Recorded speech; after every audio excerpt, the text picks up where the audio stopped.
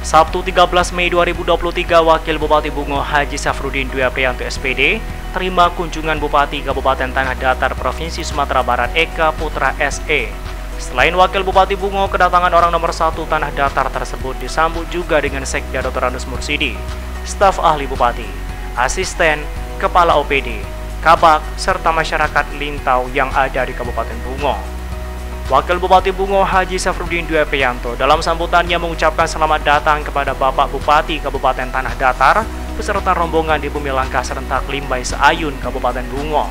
Permohonan maaf disampaikan oleh Wakil Bupati Bungo dikarenakan Bupati Bungo tidak bisa menghadiri acara makan malam bersama ini.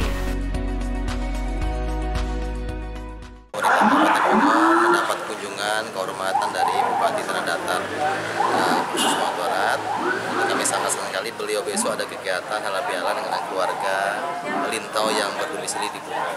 Dan kami sangat senang tadi kita diskusi dengan beliau.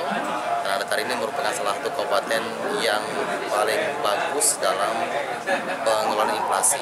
Jadi beliau sampaikan itu keunggulan dan beliau besok juga akan diundang Presiden ke Jakarta untuk kita bersyukur bahwa kita juga sudah ada MOU antara pemerintah bunga dengan pemerintah datar dalam hal pengenai inflasi yang sudah kita tekan dengan Pak Bupati dalam bila sudah berjalan sekarang mudah-mudahan baik tanah datar dan bunga ke depan juga semakin baik semakin maju juga semakin berkembang dan inflasi juga sama-sama kita kendalikan. Sementara itu, di tempat yang sama Bupati Tanah Datar Eka Putra juga menyampaikan ucapan terima kasih kepada Wakil Bupati Bungo beserta rombongan yang telah menyambut kedatangan mereka dan mengundang untuk makan malam bersama. Muara Bungo, Topik Iskandar, Bungo.